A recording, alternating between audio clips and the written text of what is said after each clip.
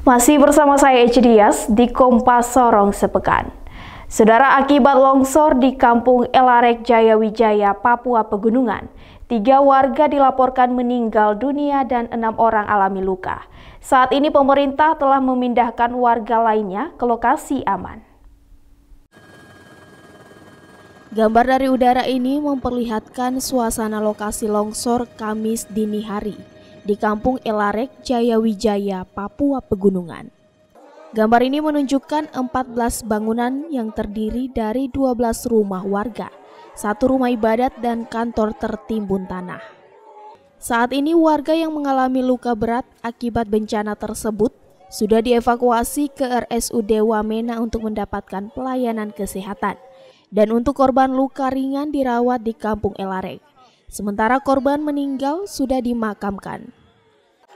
Warga meminta kepada pemerintah untuk memindahkan kampung mereka ke lokasi yang lebih aman agar tidak terdampak bencana. Jumlah korban yang luka-luka sementara ada enam orang, yang tiga orang masih rumah sakit. Kemarin ada bawa pulang ke rumah, uh, yang tiga orang masih ada di sini, yang jumlah korban dua orang jumlahnya sembilan orang. Yang di bawah mungkin uh, 23 hmm. tiga kakak.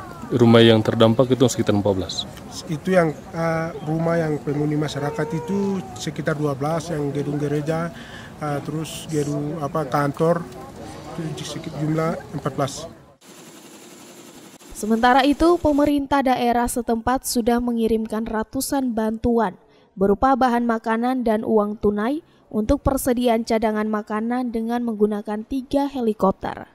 Mengingat selain kehilangan rumah, longsor tersebut juga menyebabkan rusaknya lahan perkebunan warga. Bupati Jayawijaya yang meninjau langsung lokasi longsor berjanji akan segera kembali membangun rumah warga di tempat yang tidak terdampak longsor. Begitu saya dapat laporan dari masyarakat bahwa ada terjadi sesuatu uh, musibah di distrik Tailarek.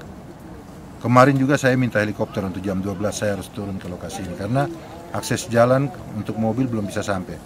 Makanya saya langsung minta helikopter, cuaca tidak bagus, makanya tadi pagi kami dapat jadwal pagi, puji Tuhan karena cuaca bagus, kami bisa masuk. Dan turun langsung melihat langsung ke akses di lokasi, memang benar ada satu gereja, kantor kampung dan uh, 12 rumah warga yang habis di bawah longsor. Stefanus Tarsi, Kompas TV Wamena, Papua Pegunungan.